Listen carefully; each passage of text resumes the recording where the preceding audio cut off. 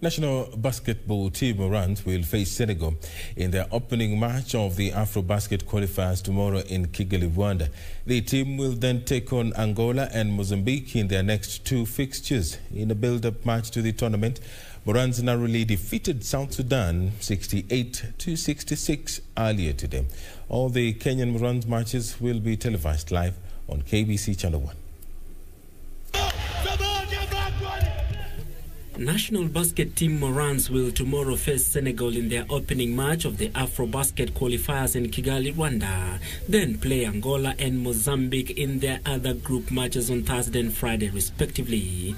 Kenya defeated South Sudan in the final match of the pre-qualification games last year in Nairobi to book a place in the AfroBasket qualifiers.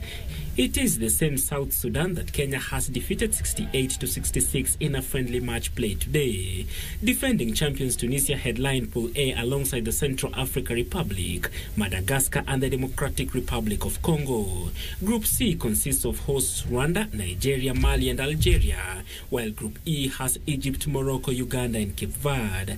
The top three teams from the qualification rounds will join Cameroon, Cote d'Ivoire, and Equatorial Guinea, who have qualified for the Afro basketball finals to be hosted in Rwanda next year.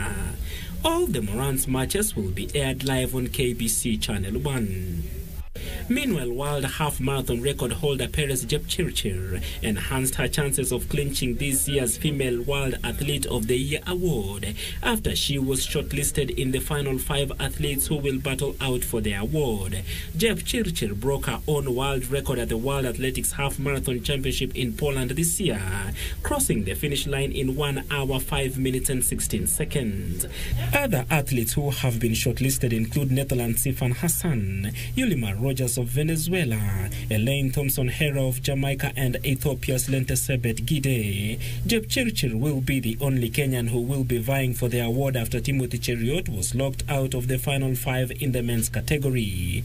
The World Athletics Awards 2020 will be staged virtually on the 5th of December.